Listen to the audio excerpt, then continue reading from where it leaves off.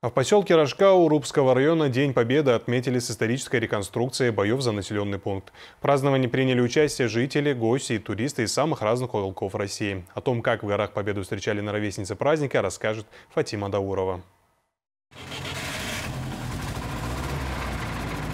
Вот родненькая еще работает как часики. Каждое 9 мая она нас не подводит, вывозит нас, ветеранов привозим на ней на памятник. Бегает еще родная. Эта победа была выпущена в 45-м. Культовая машина Советского Союза сегодня празднует свою 78-ю годовщину вместе с потомками тех, кто выковал главную победу страны в наковальне той страшной войны. Торжественным шествием к обелиску павшим солдатам началось празднование Дня Победы. Здесь люди из разных уголков страны. Это местные жители, туристы, которые семьями каждый год специально приезжают сюда на турбазу «Комбат», на базе которого вот уже много лет и организовывают такое масштабное празднование Дня Победы. Это самый святой праздник. Вот мы чтим вот наши виды, тут все. Мы каждый год здесь отмечаем, реконструкцию делаем. Поэтому это святое. И в этом месте конкретно проходил бой. Батарея лейтенанта Дударь держала фашистов, не давала им пройти.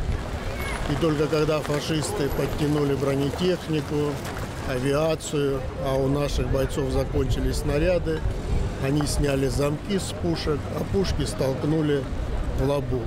В честь этого события мы собираемся каждый год на 9 мая. Любители военной истории, поставившие своей целью историческое воссоздание эпизодов сражений, представили зрителям реконструкцию боев за поселок Рожкао. Это момент, раскрывающий события с плененным бойцами вермахта партизаном и его освобождением товарищами-однополчанами.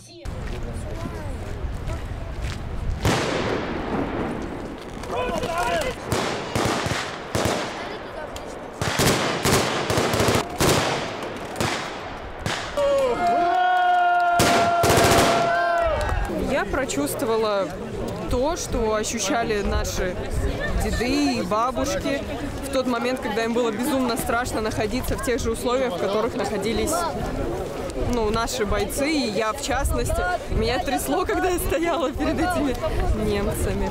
Историческую действительность закрепляла и аутентичная техника, вооружение времен Великой Отечественной войны, настоящие автоматы, пулеметы, охолощенное оружие.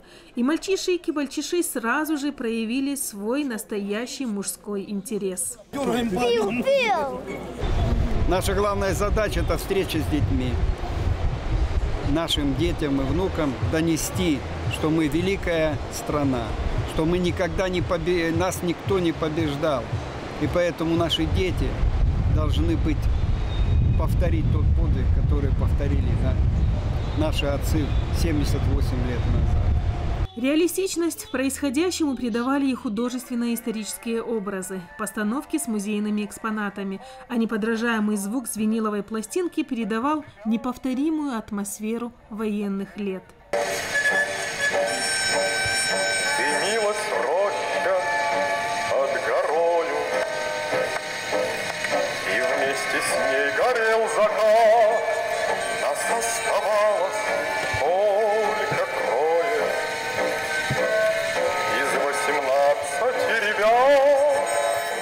В редкие минуты затишья звучала гармошка фронтовая, эпохи образец живой, которая когда-то на переднем крае пехоту поднимала в бой.